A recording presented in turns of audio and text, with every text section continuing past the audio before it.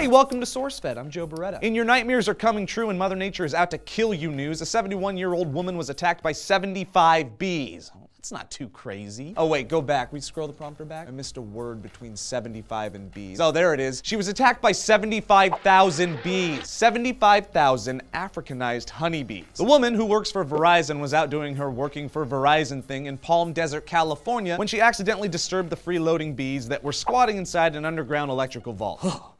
Mm. you guys know that feeling you get when you talk about bugs sometimes? You can feel them like crawling all over you. I got that right now.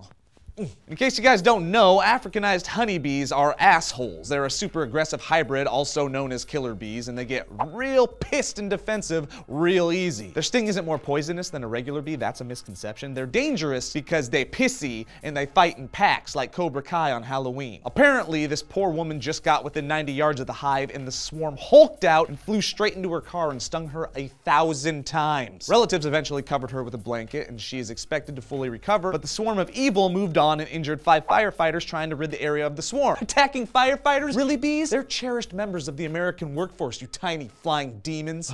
a bee specialist infiltrated the situation and corralled the bees, and he plans on donating them to a bee farmer, which I don't understand because he should be donating them to fire. Hey guys, how does nature freak you out? Let me know in the comments down below, and then click this annotation and watch the other content that we provide across three different channels. My name's Joe Bereta. Thanks for ugh, watching SourceFed. It's like they're on me right now, but they're not, because I'd be dying.